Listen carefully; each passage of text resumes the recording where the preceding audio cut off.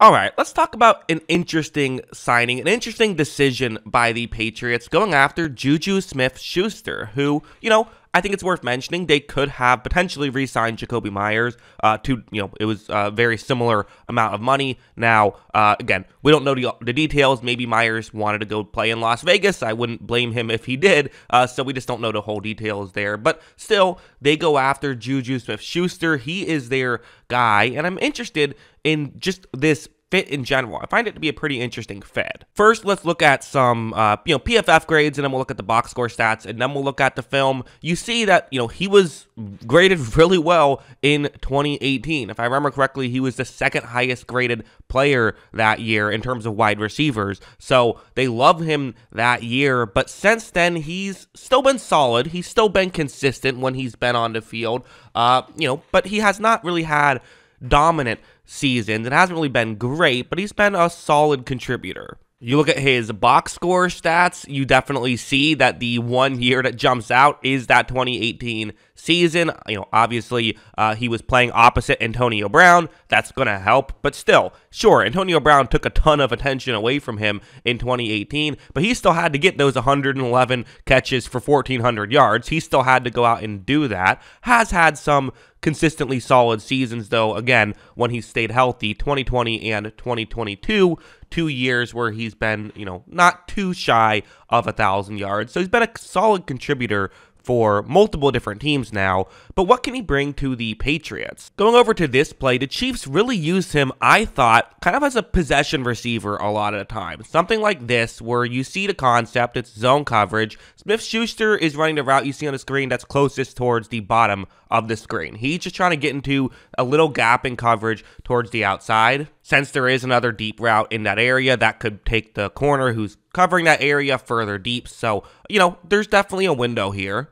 As you see, Mahomes takes the snap and Smith Schuster just runs out to his spot. This is very much how he runs these routes. He doesn't get too fancy, just gets to his spot. Mahomes is going to make this throw. Smith Schuster makes the catch. Hey, picked up a decent gain there. That's a lot of what he did with the Kansas City Chiefs and even with the Steelers, with the exception of that one dominant season. And I think my first thought is it's a bit of an odd fit, you could argue, because the Patriots seemingly love route running. That's typically what they go for. Obviously, Julian Edelman, you know, the master of route running, he was incredible at that stuff. Uh, but, you know, like, you know, Jakobi Meyers was someone who was very good in that. They even went out and got Mike Gesicki, who's another really good route running tight end. Uh, this time they're going away from it a little bit, but again, maybe they just want guys who can do some different things. Smith Schuster, more of a just get to your spot kind of player, but hey, if you're getting open, what's the difference? And like going over to something like this, I would call him a smart player. I, I do think I would. He does do a good job at figuring out, you know,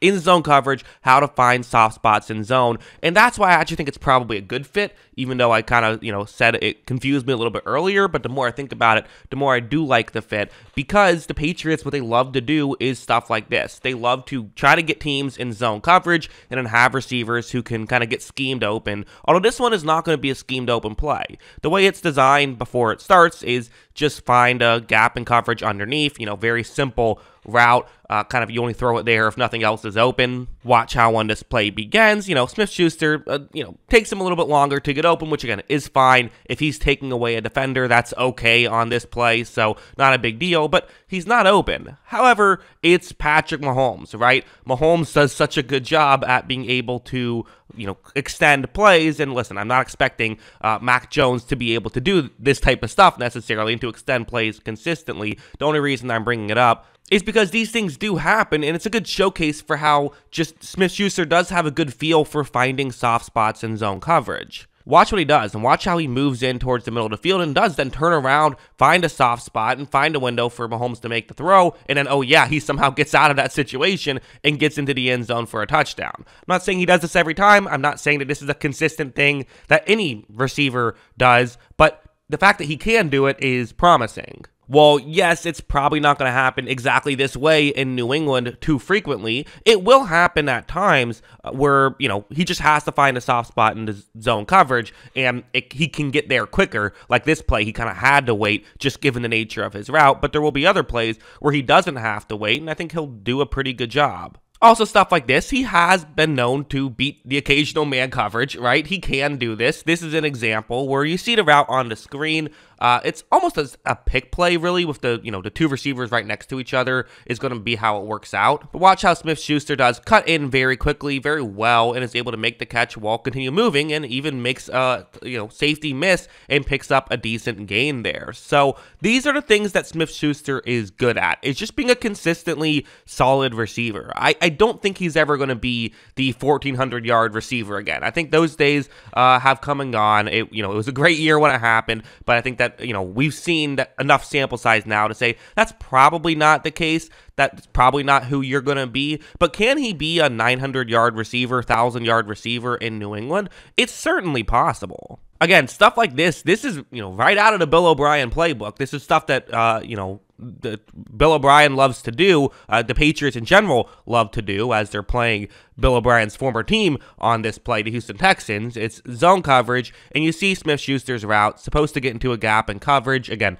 kind of past the uh, player who's covering over the middle, but not quite deep enough to where the safety and the corner can come in and make a play right when his play begins. You know, I, I should talk about Smith Schuster's route running a little bit. He's not a bad route runner or anything. I mean, he just he doesn't tend to do a ton of different moves, but he doesn't necessarily give stuff away for the sake of giving stuff away either. He's just someone who tends to be on the side of just run your route quickly as opposed to try to, you know, spend a little bit of extra time to set stuff up and, you know, there's an argument to be made about which one is better, but what he's doing here well is he isn't giving away what he's doing. And that's a very important aspect of route running is the stem portion of the route. I, I brought up Julian Edelman earlier. If you go back and watch some of his tape, you know, he never gave anything away until right when he was about to cut. And maybe they feel like they can get uh, Julian Edelman light in Juju Smith-Schuster. But look, as you see, when he does cut, you know, again, the Texans corner was eventually able to get over there, but just took him a little bit of extra time. It's, you know, good stuff from Smith Schuster, and these are the plays that he can do relatively consistently. I do think that one of the things that he brings to the table in a positive uh, ma- manner is consistency. I think that, again, as long as he stays healthy, which he has had a couple of injuries over the course of his career, but as long as he stays healthy, which he's been mostly healthy throughout his career, he hasn't had too many bad years. He's been pretty solid when he's gotten like over 500 snaps in a season. So that's kind of the thing that you kind of hold out hope for as well for New England because you just you know how the team operates. They tend to not go after number one receivers, you know, uh, with exceptions, obviously. But the main thing they value is not necessarily having one elite guy, but having four or five guys who can play. That's how they view the wide receiver position. And while sometimes it's had its bad years, sometimes it's really worked out. But to make sure it works out, you got to make sure you get the good players. And I think Smith Schuster should fit in well with this team. I- would be very surprised if he has a breakout year with New England. I just don't see that happening. Maybe I'm wrong. I've been wrong before. Uh, that's just not something I think that the Patriots are even expecting as a possibility when they make this signing. I think the Patriots are making the signing for kind of a, a high floor type player, someone they know can come in and just play solid. And in that respect, I kind of agree with them. I think that's what Smith Schuster will be. I don't think he will be this, uh, you know, boomer bust free agent signing. I have a very hard time seeing him not work out at all for the Patriots. Again, could he be disappointing? Sure. But I have a hard time seeing him not at least be like a 500, 600 yard guy. And my expectation is better than that. But yeah, that's what I think. What do you guys think? Let me know in the comments below. Always love hearing from y'all. And of course, as always, thanks for watching.